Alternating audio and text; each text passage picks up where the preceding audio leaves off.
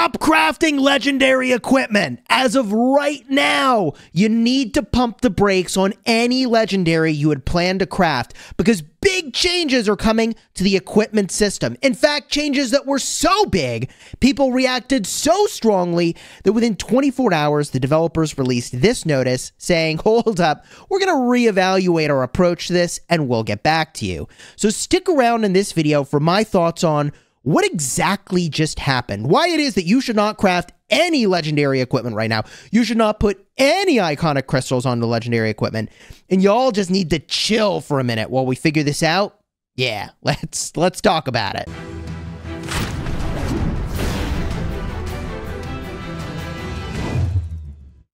Hello, my friends, and welcome back. I'm Chisgule Gaming, and if you haven't been to my channel before, I've made over 2,000 videos about Rise of Kingdoms, including guides that have been viewed many, many, many thousands of times about equipment. In fact, I probably have over a million views on equipment-related videos alone.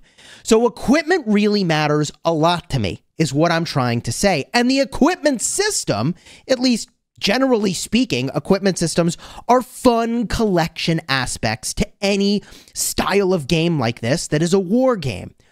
But the most recent update was going to include a bunch of new power creep to legendary equipment, as it says up at the top. New equipment is all legendary quality, and it includes higher level helmets and higher level uh, chests, gloves, legs, and boots, as well as weapons. Okay. Now, this at first blush is an exciting thing. Players want to make equipment, and players are really hyped to get new equipment. Make no mistake about it, the core idea of giving us more stuff to make is actually really cool. But there's a couple flaws, and I want to talk about that before I get any further in the video, because the most important takeaway from this video is to stop crafting anything at all that is legendary. Do not put any iconic crystals, because if the developers do decide to go through with this particular update, some of those investments that you'll be making will be made either irrelevant or less relevant entirely. And let me explain that. The thing that has always been a conundrum for me with the equipment system at the highest end of things is the way that legendary equipment works. If you go to dismantle legendary equipment, and I get new players are like, bro, this is so far away from me. Who cares? But if you go in the end game to dismantle legendary equipment, you lose half your materials. This has always been a confusing design choice to me. And the reason is that players hate losing stuff. Losing half your le legendary materials is an astronomical cost. At the very cheapest, if I dismantle legendary boots, I lose 20 legendary materials. Not to mention all of the other times I've spent materials trying to refine it for a special talent. Let's just set that aside for a minute because we'll cover that later. So if I just have an untalented legendary and I'm like, oops, I made the wrong thing, that is going to cost me almost $200 worth of materials, or you can get that stuff free to play. But how do I arrive at $200? Well, you take the 20 legendary materials, you multiply by 2,400 um, which is the VIP shop price. Okay, I can go into the VIP shop, scroll on down, boom. If you even have the VIP to go buy this stuff, right? So 2,400 gems per, right? You got 20 of them. Um, that's 48,000 gems. That's almost $200 worth of raw gems for an oopsie daisies. Whoops, I made the wrong thing. So the reason that that has always been a confusing design choice to me is that it is so punishing that you're basically telling players never experiment with equipment ever. In your perfect world, you have so many needs for materials across so many things. If you ever need to dismantle, you've actually made a mistake with your equipment, which is why I make so many guides about legendary equipment in Rise of Kingdoms. By the way, if you haven't subscribed to the channel, consider subscribing for Rise of Kingdoms videos designed to help you get value, smash your enemies, and not make these kinds of mistakes. So, why am I telling you all this? Well, this design of the way that legendary equipment works, I thought since the very beginning was an extremely limiting choice. It makes it so that you can't ever release new equipment without extremely punishing players to the point that players actually might lose faith in the system as a whole and lose trust that like my investments are worth doing because they won't just be overwritten the next day, right? And, and I think that is where players started to really get, I think, vocal about their feedback about this system and cause the developers to say, hold up, okay, we want to release new equipment and your opinions matter to us, but we're going to rethink this a little bit. Because let me take the upcoming changes that were on their way, like if player feedback didn't happen, these would have come through, and bring it to an extreme. Because for an end game player, remember, these are the best customers of the game, the players who spend the most money. They are sitting on seven legendary sets of equipment, and they were going to have to reforge helmets, weapons, chests, gloves, legs, and boots. Now, there's special consideration that's going to go into the KVK related items, and we'll talk about that in a bit, okay? However, um, the thing is that if I were to dismantle an entire legendary set like the one you see here without even getting into all of the materials I spent refining, which was extremely expensive, okay? Every time you refine, it costs 50% of the materials and a pattern. It ain't cheap to have refined. It was very expensive to get your collection to the point, especially that I'm at, right? Which, hey, look, I get most people aren't here. The point is that there are a, a lot of customers that play this game that spend a lot of money and how much legendary materials how many legendary materials do you lose if you followed what the game was encouraging spenders to do which was make seven uh, seven legendary sets of equipment without even factoring in all of the special talents okay i did this math a while ago it's like 30 pieces over here, 30 pieces over here, 30 pieces over here that you're losing. So that's, what is it, 90 legendary materials over there, right? Plus you lose 20 here and 20 here. So that's another 40. So we're up to 130. And then this cost you 45. So that's 175 legendary materials per um, set that you're deconstructing, that you're losing, times seven, okay? So that is a grand total of 1,225 legendary materials just destroyed because the meta is new and I need to go make the new things. So this is telling the best customers of the game that they're losing 1,225 legendary materials. If I just do some math on that really quickly, okay, um, those are 2,400 gems a pop. So we're talking about almost 3 million gems worth of lost materials divide by 25,000 gems per $100 times 100 and you're looking at $11,760 worth of materials without even getting into the special talent math, which is also different based on the update, but still like that's a lot of dollars worth of investment that's like I have to delete. Now, I'm, I'm intentionally using this word, I have to delete. No one has to do anything. But the intention of a game and the thing you want your players to do is to take your game seriously. And to take the game seriously, you want to push into the direction of whatever is the meta. At least that's the way I play games, right? I, I try to find the most effective tactic I possibly can and move all in on that, right? So not only do you lose all the materials, of course, you lose all the patterns, but you also lose all the iconic crystals. Remember, when you dismantle, you, you lose the iconic on here. So this punishes players for having deployed their iconic crystals.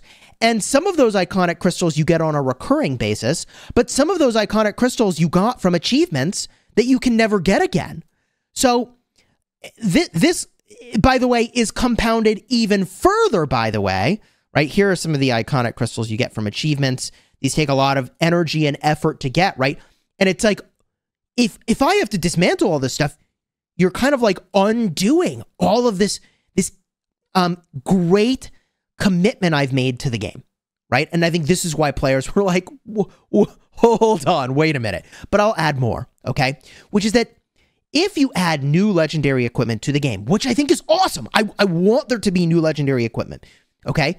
The way that this is designed currently, you have to understand, is that a player who's already made the seven sets that they need is now in a position where their old gear is actually worthless. It is useless. It is literally worthless, quite literally, because a new player to the game can sort of roll forward with these changes, right? A new player can say, all right, well, I only had one legendary set and I needed to make a second one for cavalry anyways. So, like, hey, cool. I'll have one set of the old stuff and one set of the new stuff, and I'll go from there, right?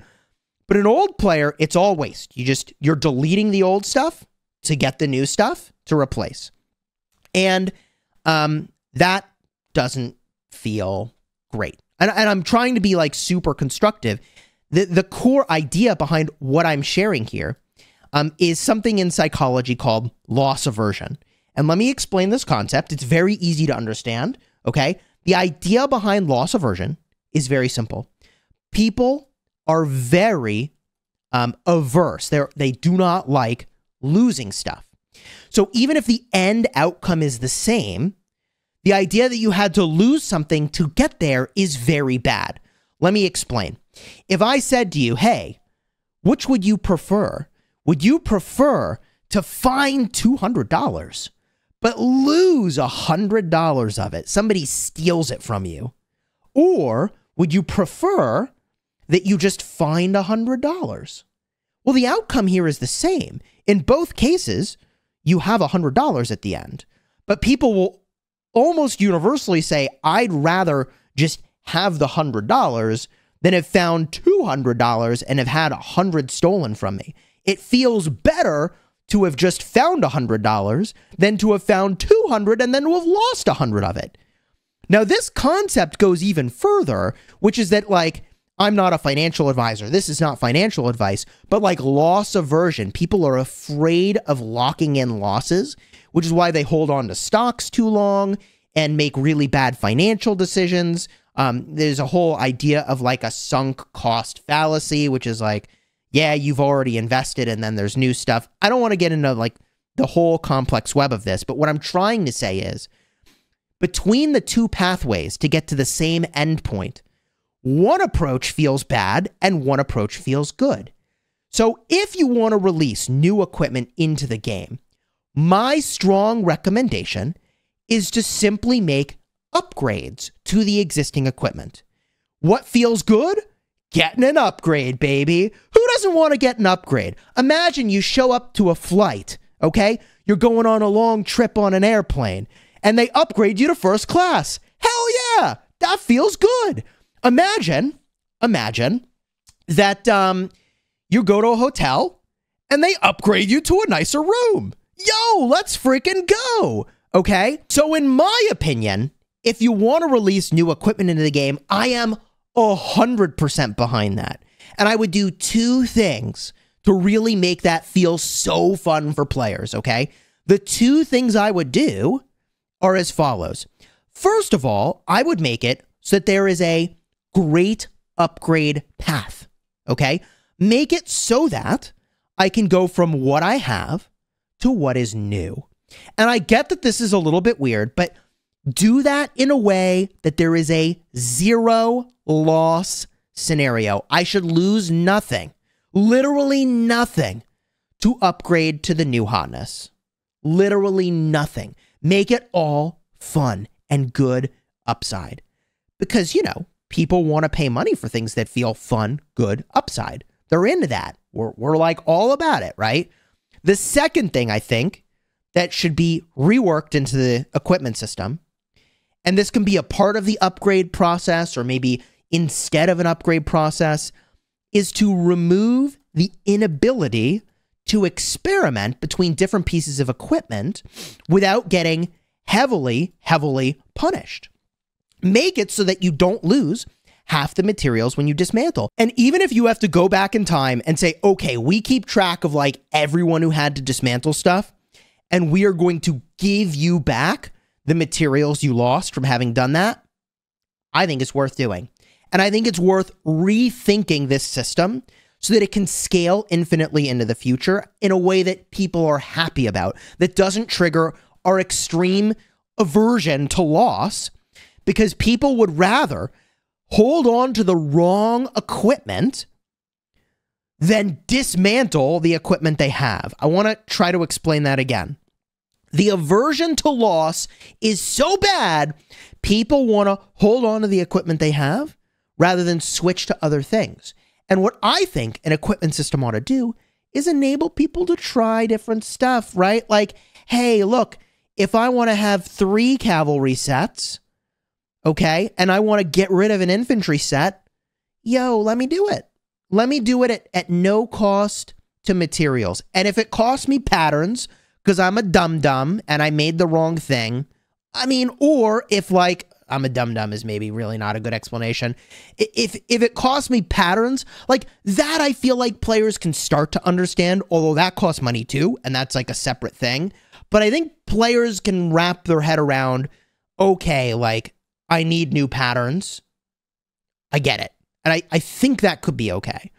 Um, but losing all the materials is such a strong punish um, and I think that's why the developers ultimately had to release a statement that was like, okay, we're not going to do these changes. This is why at the start of the video, I said you should literally craft nothing. Because if the developers continue forward with these changes, um, there's several things that are really important. So let me walk through this really quickly, okay? The new equipment is all legendary. It includes level 50 helmet, chest, gloves, legs, and boots. That's five pieces of equipment as well as level 55 weapons for cavalry, infantry, and archers. All this is five levels higher than the best we have today, with the exception of the helmets, interestingly enough. Um, new helmets, chests, gloves, legs, and boots will have set effects. Equip two or four for the added bonuses. So we're getting sets that you're going to want to move in on. I mean, it's just going to be better than anything else we can do. The new weapons will not have set effects. The materials required to forge the new equipment will be the same as the materials required to forge level 45 equipment of the same unit type and equipment slot. Well, wait, hold on a minute. This is a part of the weirdness here is that yesterday, if I made something, is this telling me it's the same type of materials required to forge the new equipment or the same amount of materials? Because if 60 materials yesterday got me 12% of stats. And tomorrow it gets me 16% of stats if I had the new pattern. And I have to lose half the legendary materials to do the upgrade. Do you see the problem here? Like, you can't craft right now until we see what they're going to do with this system. Um, the new level 50 equipment can be used in all seasons. The new level 55 equipment, however, can only be used in the season of conquest. So level 50 equipment, all seasons. Level 55, season of conquest only. Forging and refining the new equipment will work the same as other equipment. So they're literally just swapping in new equipment. It's just better. Like, this is the weirdest form of power creep. We're giving you better stuff. We're giving it to you at the cost of the old stuff. We're not even going to discount the old stuff or give you a refund on it for the amount of materials you spend. I mean, as you walk through this, it becomes like really immediately apparent if you spend in this game as to why it's like, hold on, what have I been spending on? Um, the new equipment will be added to the game gradually, and relevant events will be adjusted as the new equipment is added. The specific plan is as follows. The rules for dismantling legendary equipment will be optimized. When dismantling a piece of legendary equipment, the higher its refinement level, the more materials will be refunded. Still 50% at refinement level zero. See that? That to me is a fat L. Um, and, and look, like redesign the system so that you can release new equipment for many years to come and that there's no punish to players for investing in equipment and it's all upside it's all fun just get get rid of the get rid of the legendary material loss i think that is hindering the ability to make it feel good to get new stuff okay you'll be able to view specific rules via the blacksmith page after this version goes live if you dismantle a piece of legendary equipment that has special talent or is above refinement level zero before the new rules uh, take effect, you will be compensated for the difference later. So they are keeping track of this, which is good. Um, the equipment preview feature will be added to the blacksmith. Okay. New level 50 equipment um, content in this version. A new type of chest will be added to the rewards for Ceroli, Ian's Ballads, and Golden Kingdom. When opening these chests, you'll have a chance to find blueprint fragment choice chests for the new equipment. Blueprint fragments for the gloves and chests can be earned by taking part in the Holy Knight's treasure and the hunt for history, um, or by opening blueprint fragment choice chests. Um, the new level 55 equipment content in this version. Once uh, 1.0.75 goes live, you'll be able to preview blueprints for new weapons in the combat shop of the ongoing season of Conquest. You will be able to purchase these blueprints with Conquest coins. So your KVK weapons are also getting swapped out. The schedule for the Holy Knight's Treasure and uh, Hunt for History events will be unified across all kingdoms that have these events, which I think is good. The arms and armor event will begin the day after this update goes live. By taking part in this event, you'll have a chance to earn iconic crystals and other valuable rewards. So, like, now that we have to delete all of our iconic equipment in order to have the materials for the new stuff, um, they're going to give us a way to get iconic crystals. I think it's great to give us a way to get iconic crystals. It, it just, the feel bad, this is all about loss aversion. The feel bad of getting rid of our already made iconic hard earned equipment. It, it, I'm so attached to my collection, you know? I'm attached. I'm attached because actually I lose a lot of value if I have to get rid of it, right? Now, as of November 1st in 2023, this is a long ways away. Starting from this update, two new Crusader achievements will be added to the Season of Conquest in the Lost Kingdoms. By completing these Crusader achievements, you'll earn Conquest coins and other valuable rewards. And then in December 4th, so this is like way in the future, in the VIP shop, the Cavalry, Infantry, and Archer random blueprint fragment chests will be replaced with new ones. When opening these chests, you'll have a chance to receive the level 50 blueprints. New level 50 equipment uh, content in this version. After this update, the following equipment blueprints will be removed from Season of Conquest shop. Sacred Dominion, Hammer of Sun and Moon, Hydra's Blast, Pride of the Khan, all the KVK stuff is removed, and they will be added to Holy Knight's Treasure and Hunt for History, or by opening the blueprint chests. Okay, and this equipment can be used in any season. The new level 55 equipment um, in this version. In this version, you'll be able to purchase new blueprints for the weapons in the Season of Conquest shop. You can buy up to three copies per season. Wow. In addition, blueprint fragments for the new level 50 legs and boots will be added in a future update to Holy Knight's Treasure, Hunt for History, and new blueprint fragment choice chests. Stay tuned. So, this is going to get rolled out over a long period of time, except the developers were like, hold up, we got to rethink this um, because you know, players were upset. Now, there was more to this, which is that, and I think this is good. If they did this for every piece of equipment, maybe we'd be having a slightly different conversation. But they're basically saying, okay, um, the Hammer of Sun and Moon, the Sacred Dominion, the Hydra's Blast, and also the helmets, okay, the KVK helmets, they cost a higher amount. We're going to cost uh, cut that cost in half, which is really wild and they're going to give you back any materials you spent. That's the difference of these. I think this would be another option for the developers to pursue is to say, okay, for all of the equipment, we're going to reduce the legendary material cost and give you back the difference. Right? Like that could be interesting.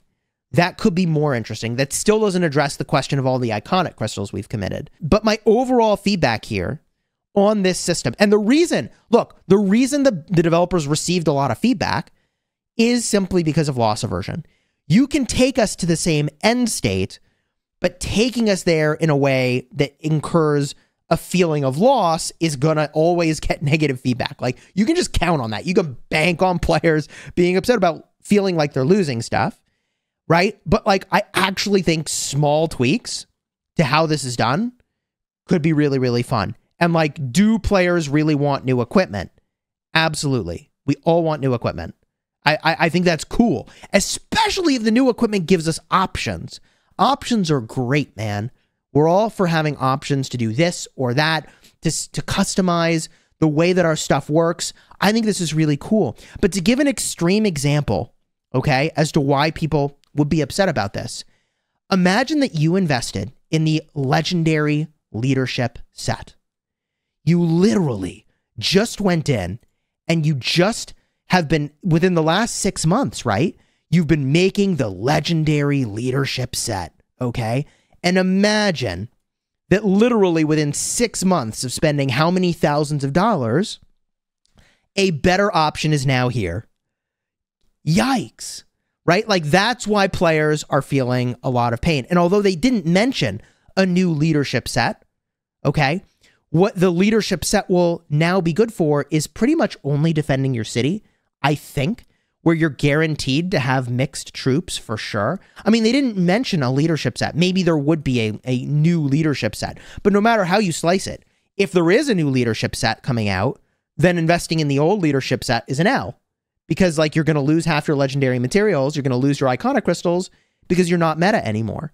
And why does being meta matter? Well, the best the best customers of this game, the ones that spend the most, are trying to be rally leads and garrison captains. And they have to have the most stats, right? And those players are just they just got to throw away how many legendary materials to go to the new stuff, right? Not to mention the patterns. I mean, this uh, the, the, I haven't even really talked about, and we spent money for patterns too, right? So um, that's fine. Um, so the other thing I'll say is that before we had this leadership set, the meta was to go mono troop. So you'd use like a mixed garrison, but you'd probably go with infantry because certain infantry pieces have a lot of stats for other troop types, like the Hope Cloak and the Eternal Knight, right? I think the power level of the new equipment, probably when it's talented, is giving you somewhere in the realm of like 5% more total stats per piece. So you might end up back in a world where like the new infantry set is the meta, even for a mixed garrison. And you tell people, actually, we can have mixed, but focus all on infantry, right? So, all that to say, at this moment in time, you should not craft any legendaries. You should not deploy any iconic crystals until we actually learn how the new system is going to work. And I want this new system to be awesome. I I am fully 100% 100% supportive of new equipment coming into the game and I hope this is viewed as like offering constructive thoughts on how that equipment system could work because I think it could be very fun. And I just hope that uh, the developers will take a look at that feeling of loss aversion and address it. And I think if that's addressed, I don't think people will be upset. But let me know your thoughts down below in the comments. I recognize this is like a longer video. I hope it didn't come across as like ranty. I am really like genuinely trying to be constructive in saying like we want new equipment, but please don't invalidate what I've done so far. oh man. If you enjoyed the vid, do me a favor, throw a like on here, consider subscribing. If you're looking for what the best legendary equipment has been to make to date, I'll have cards in the end screen for the best free to play equipment and also the best legendary equipment. So if you're working your way up to legendaries and you're not there yet, I got a video for you. All of that guidance will still be relevant because you don't lose materials when you craft that stuff. And um, at the, you know, legendary tier, if you wanted to know what was the best, cards in the end screen.